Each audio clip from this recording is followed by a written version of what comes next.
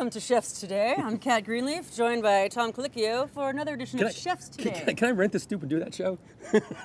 But seriously, Tom, before the advent of the television camera, chefs were back of house. Back Sure, of house, sure, right? sure. They, they didn't. We were hidden away. Hidden away. You know, it was a um, not the glamorous profession it is today. No, it's, it, it, it's glamorous. no, it wasn't. You know, and- and that's that was a result of, you know, going back now 40 years, uh, Nouvelle Cuisine. It took the chef and it took them out of the kitchen. Number one, because prior to that, chefs when they played the food, they weren't plating food. Everything was served on platters. Right. And now all of a sudden, chefs were putting uh, plates together and creating a signature. And then obviously with the with the advent of food TV, chefs really started becoming, uh, you know, more popular on TV. Well, you're the poster child. Really, you are for Chef TV. I mean, you've been on Top Chef on Bravo for all 12, 12 seasons. 12 seasons, yeah. 12, 12 seasons, 12 seasons, yeah. Right? Who would have thunk Yeah. it? This was by far the closest decision we ever had to make. Unfortunately, there's only going to be one. Being a chef before maybe wasn't, let's say, as glamorous or lucrative. Do you feel like that might have diluted the pool of really good chefs because you have people who just want to be TV chefs? No, what, it, what it's done um, is is that there are a lot of people who are attracted to the industry for all the wrong reasons. It's brutal work. I mean, you're on your feet all day long. You're typically working nights. You're typically working a lot of holidays. You know, it's, it's hot. It's it's it's tough, and a lot of kids get into it because they want to be on TV, and they don't realize what it takes to get there, and they drop out. Can't stand the heat. Don't come in the kitchen. We'll provide the chaos. You provide the control.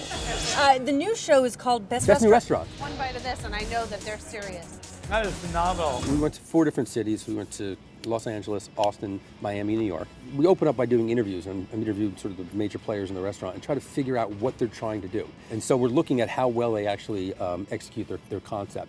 I tell you, what was great about it is a lot of these, you know, these are all professional chefs and professional restaurateurs, and they all come on like this is you know. At the end, they're all saying, "This is the hardest thing we've ever done." Really? It's brutal what we put them mean? through. No, it's just the, the, the certain challenges that we put them through. You know, 24 hours, open a restaurant and run it. Insane. It's really hard work. And they're in the same kitchen. We're not gonna go down without a fight, that's for sure. Be honest with me. If the James Beard Award, of which you have won 6 Mm-hmm. is the highest honor for a chef in a restaurant, what's the highest honor that can be paid to a home cook? You know what? When, when, when your family comes home every night and they're looking for, for, for a good meal, what else do you, what else do you need? Well, I don't know because I don't know how to cook, and my kids have never come home looking for food. In fact, they come home and look for the cell phone to call somebody to bring it to us.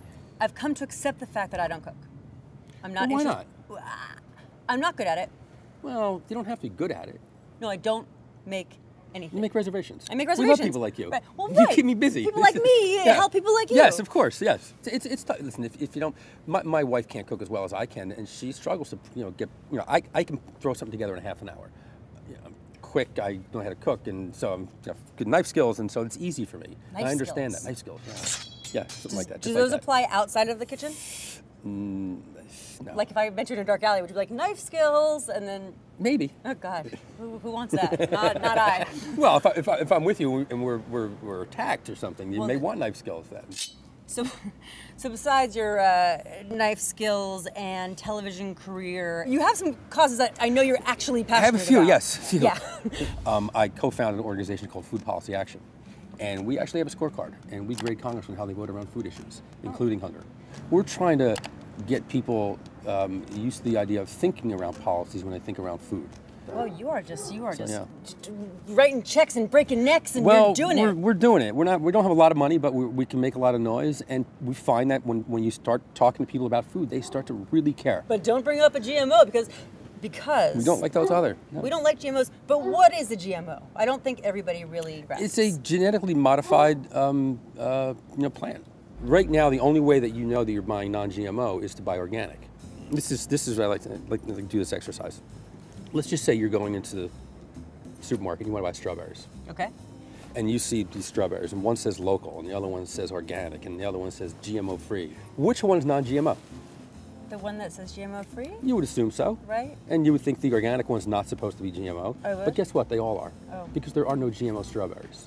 I bet you are no fun at a dinner party. Do you just go around the table and just like destroy everything on everyone's no, plate? not- not at all. It's just over, and they're like, "Thanks for coming." Not. never, never again. Thank you for joining me on Yes, Chefs you can today. leave now. Yes. Chefs today. Chefs today, uh, and tomorrow and forever. Cheers. Cheers.